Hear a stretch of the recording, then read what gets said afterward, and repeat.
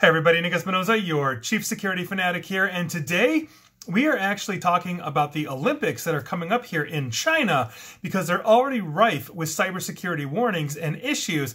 And here's what's going on. And this is actually two different stories I want to share with you in this vein. The first one is coming from Bloomberg, and here's what's going on. China has promised the world's top athletes essentially access to partially unfettered internet during the Olympic Games, which start on February 4th, essentially dropping the Great Firewall of China that blocks services like Facebook and YouTube typically from the Chinese population, but they're going to do this and uh, basically unlock it for official venues and hotels at the games. But obviously, security experts say there are reasons to exercise caution, and I will throw my voice into there as well, having traveled to China, worked there, and seen it firsthand myself. Now, Chinese companies that specialize in data collection, surveillance, and artificial intelligence are among the official sponsors and suppliers of these Winter Olympics.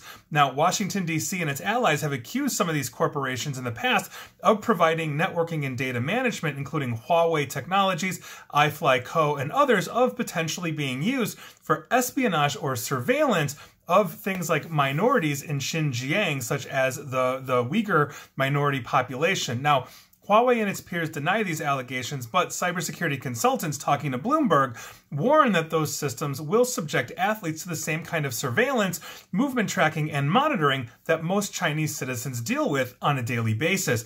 Among the concerns is the risk that state actors or criminals could use the designated Wi-Fi hotspots and bubbles to snoop on private communications or even install malware or other vulnerabilities onto personal devices. That could turn in, obviously, uh, you know, very bad information uh, to give away to the Chinese government, talking about contacts and all these kinds of things. And so we are looking at potentially anybody that is using that infrastructure as an attack. And because the government typically owns the uh, cellular infrastructure, in China, uh, that could actually work the same as Wi-Fi, meaning uh, state-sponsored uh, entities could possibly get into mobile phones even if they're not using the wireless. Now, a growing number of delegations are taking this threat seriously. Australia, Belgium, the Netherlands, and Canada are among the delegations that are advising their athletes to actually keep their Wi-Fi net, uh, basically keep their devices off of Wi-Fi networks, and also to use burner phones if possible. Meaning, hey, don't take your normal iPhone or your Android or whatever. Go get a burner phone. Bring that. Don't load it up with all of your stuff. Now. The US has issued a warning to American athletes as well that their devices may also be compromised with malicious software, and, and here we are. Now, the Beijing committee has rejected uh, this apparent advice to athletes around the globe, saying, and I quote, this is completely groundless and these concerns are wholly unnecessary. I will get to that as well soon, uh, soon as soon as soon as I finish this bit here. Now, the committee said that China has passed several cybersecurity laws that provided protections for privacy and data, uh, essentially for its citizens and foreign visitors. Now, the game's official anti-software, antivirus software maker uh, is Qianxin, and Shing, and they will run a central hub offering, quote, full coverage and high-quality network security, and that's according to a company statement. Its majority shareholder, Qi Xiang Dong, is a co-founder of Qihoo 360, which is an antivirus um, an antivirus platform, and that was actually sanctioned in 2020. Qianxin will have visibility over data that crosses the network, meaning overseas traffic and uh, anything else, meaning if your device is attached and routing through this, they're essentially going to see and be able to inspect it. In an analysis of their mobile protection software, Internet 2.0 reported that, quote, a significant amount of user data is being collected by the software, and there you go. Qi Dong parted ways with Qihoo 360 in 2019. Now, that is very true essentially of uh, Chinese software. When I was there working, they have different classifications and understandings of things like malware or adware, meaning here in the United States and many other places, if uh, essentially a program that you are installing sideloads, sideloads programs into your computer without your knowledge or your consent by basically you checking, yes, please install this as well, that is essentially considered malware here in the United States and other places. But in China, that is very common. And when we put in threat detection systems to a client that I was there to service at that time, it essentially lit up like a Christmas tree saying that absolutely everything in their office was infected including IoT devices. That is a very terrifying prospect. But to the point where China is also saying, well, these are baseless, there's no cause for concern, I will remind you of the Sochi Olympics in Russia, where we saw exactly this. There were reports coming out of there that people connecting to local Wi Fi were having devices compromised within minutes of the actual connection, and Russian intelligence was basically handing out flash drives and press packets to journalists that the journalists were like, yeah, we're not plugging this into our devices, which were found to contain infections when cybersecurity experts got, uh, got a hold of them. I actually had the privilege, interestingly enough, of speaking to a lot of the Olympic committees uh, about six months ago, eight months ago, something like that, uh, essentially to talk about cybersecurity with a lot of these for both the winter and the summer games. And that is essentially a lot of the advice that I gave. Don't bring your actual devices.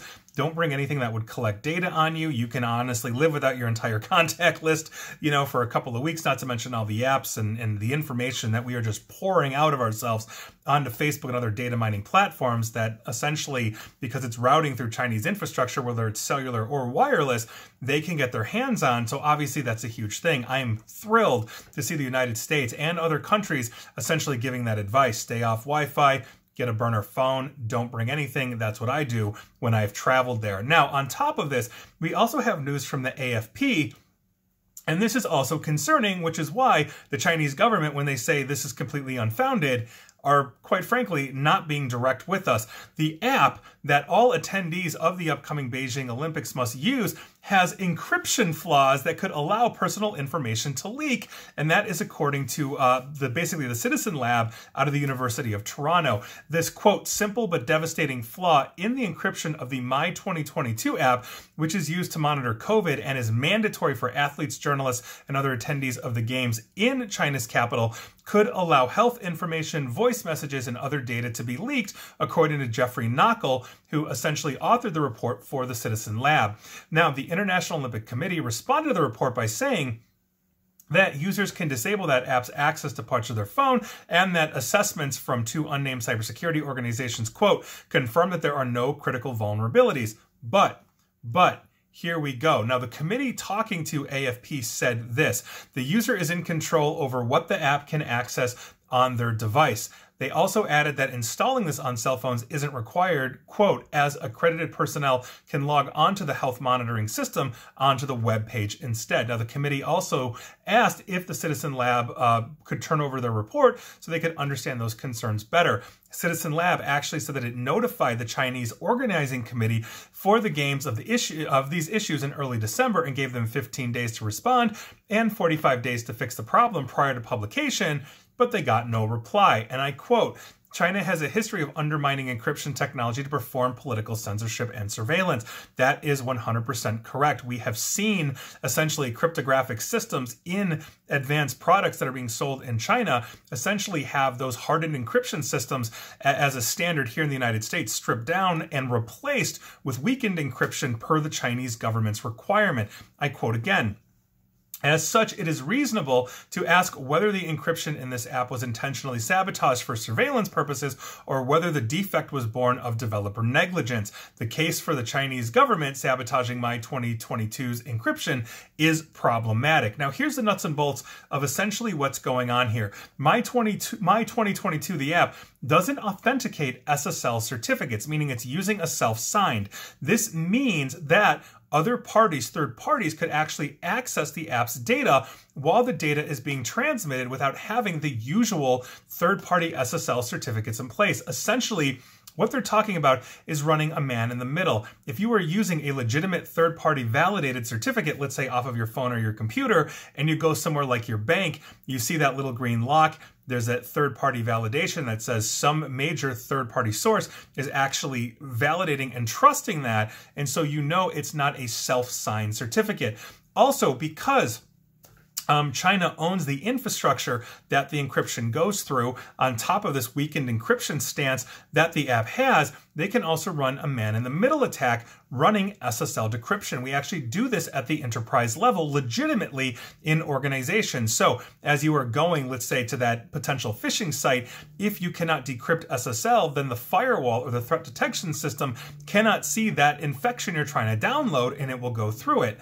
But if we can decrypt SSL and see the traffic coming in and out, we know that we're secure from the internet to the firewall and then from the firewall to the user we know it can stop at the firewall and get checked for threat. Conversely, if there is something in the middle that can essentially open and inspect it, that also means it can copy it and that layer of encryption that you think is secure is actually not. Now, while the app is transparent about the medical information it collects as part of Chinese efforts to screen for COVID, essentially Citizen Lab said, quote, it is unclear with whom or which organizations it shares this information. Meaning, if you are there, let's say as a foreigner, saying, Yes, I am COVID free, I'm COVID free, oh no, I have COVID, somebody is collecting that information outside of the Chinese government. And the question is, who are they sharing it with? We have no idea. Now, interestingly enough, Citizen Lab, looking at the My 2022 app, also found internal lists um, one called illegalwords.txt, a text file, and another one of quote unquote politically sensitive phrases in China, many of which relate to China's political situation about Tibet or the Uyghur Muslim minority that's been in the news lately, and all of that. Also, keywords like CCP evil, meaning the, the communist uh, Chinese party or the Chinese Communist Party, space evil, and Xi Jinping, China's president, uh, essentially are on these lists as well. Although Citizen Lab said that they were unclear if that list was being actively used to censor or if they were simply recording it, meaning if I wrote, you know, CCP is evil or something like that, are essentially, they're not blocking me necessarily from saying that, but maybe they're flagging me to say, ah, Nick's not allowed in the country again, or if I say free Tibet, or, you know, anything else that basically flies in the face of the Chinese government. Now, because of these features, if you are looking at essentially how this is created and what it is doing, this app should violate both Google and Apple's policies in their respective app stores, especially because, uh, you know, here we are. They have privacy policies in place that don't allow these kinds of things, but Apple and Google both kowtow to the Chinese government very, very deeply because they want those as markets. Uh, you can look up Project, Project Dragonfly uh, on the Google side, and last time I was in Beijing, the Apple store was the biggest freaking Apple store I've ever seen in my life. It was like five stories. It was massive. So Apple has a huge presence, especially in the wealthy parts of China. But, and I quote Citizen Lab again, also, China's own laws and national standards pertaining to privacy protection, providing potential avenues for future redress, are obviously in play. Not to mention the fact that China has a standing order of any of its companies that do business outside of China if they are collecting information on citizens abroad, primarily here in the United States, but other places as well, the Chinese government will collect that. So this is a huge, huge problem. And as I mentioned in the previous, uh, you know, 2014 uh, Sochi uh, Olympics, and and that was a huge issue. We saw Russian intelligence do this. They are notorious for this. The Chinese government is notorious for these kinds of things as well. So we cannot take these things at face value. We have way too much evidence of malfeasance uh, going back years and years and years at this point. So if you've got essentially an enclave of foreigners basically going to be there using your infrastructure and the world is watching, why not data mine them? And I think that's exactly what they're going to do. So that is your news of the day. If you're going to the Olympics, don't take your normal devices. Use burner devices, make sure they are inspected and wiped, and when you bring them home, don't put them on your personal wireless network because they'll start gathering telemetry. We've seen other Chinese-based apps do that kind of stuff. Like a colleague of mine found TikTok doing that. So all you TikTok users out there, I don't know why you're using it, but here we are. So make, make sure that you're being careful. Make sure that you're being safe. If you don't have to log in or use something, don't even touch it while you're overseas at the Olympic Games. And good luck to all the athletes. And that is your news of the day. And please like, share, follow me here on Facebook and Twitter at NickAESP. And please feel free to subscribe to me at YouTube as well. And as always, stay safe, stay online, and please stay private. Thanks, everyone.